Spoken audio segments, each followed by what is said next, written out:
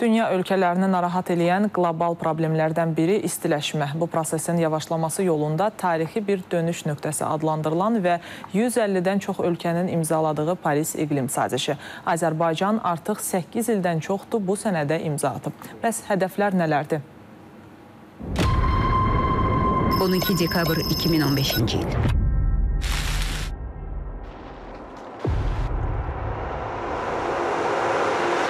Qlobal səviyyədə baş verən iqlim dəyişiklikləri ətraf mühitə olan neqativ təsirlərini getdikcə intensivləşdirir.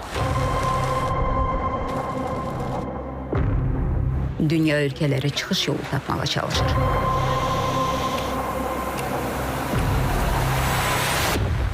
Bu səbəbdən Birləşmiş Millətlər Təşkilatının iqlim dəyişmələri üzrə çərçivə konvensiyasının tərəflər konfransının 21-ci sessiyasında Paris sazişinin imzalanmasına dair qərar qəbul olunur.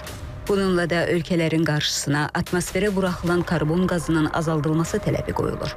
Sənədi ilkin olaraq 171 ölkənin nümayəndəsi imzalayır. Azərbaycan isə bu təşəbbüsə bir il sonra 2016-cı ildən qoşulur. Paris sazişinin əsas ə, e, əhəmiyyətlərindən biri bildiyiniz kimi iqlim dəyişmələri üzrə çərçivə konvensiyası özü çərçivə xarakteri daşıyır və onun icrası ilə bağlı ilk növbədə Kyoto protokolu qəbul olunmuşdur və daha sonra Paris sazişi qəbul olundu və Paris sazişində ə, e, müəyyən hədəflərin göstərilməsi qeyd olundu və orada əsas hədəf o idi ki, temperatur artımını 1.5 dərəcəyə qədər məhdudlaşdırmaq və 2 dərəcədən yuxarı qalxmasının qarşısını almaq. Əks halda bəşəriyyəti görülməmiş fəlakətlər gözləyər. Kütləvi meşə yanğınları. Milyonlarla heyvanın tələf olması. Qlobal susuzluq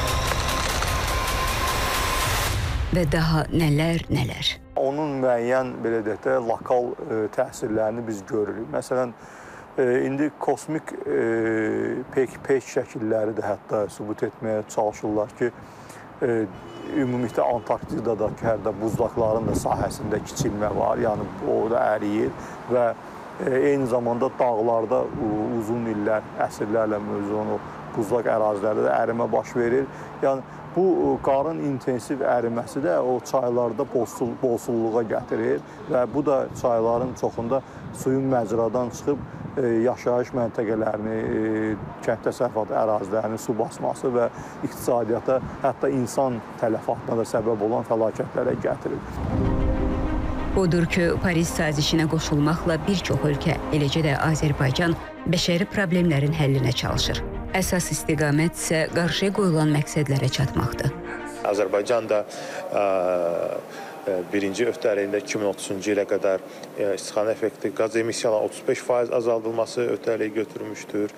İkinci hesabatlıqda bu 2050-ci ilə qədər bu emissiyaların 40%-ə qədər azalması hədəfi götürülmüşdür və sazişə uyğun olaraq mütəmadi belə deyək, dövrü olaraq bu hədəflər yenilənməlidir.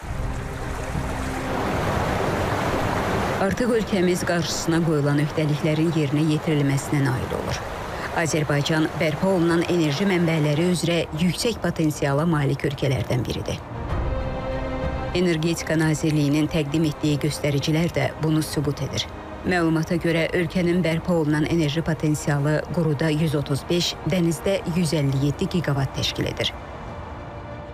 Elə statistik göstəricilərlə də baxsaq, 91-ci illə müqayisədə Azərbaycanda e, ton ekvivalentində artıq məsələn 90 90-cı ildə e, Azərbaycanda 80 e, milyon təqribən ton ilə buraxılırdısa karbon, artıq bu bir 20 milyon tondan qədər azalıbdır və növbəti illərdə yenə bunun azaldılması hədəf qoyulub həmin Paris sazişinə uyğun olaraq.